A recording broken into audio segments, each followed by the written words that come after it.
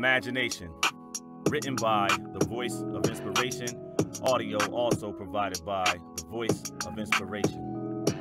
Imagination is the basis of some of our greatest inventions. If you can't imagine it, you can't create it nor achieve it. Never suppress your imagination. Thank you for listening to The Voice of Inspiration.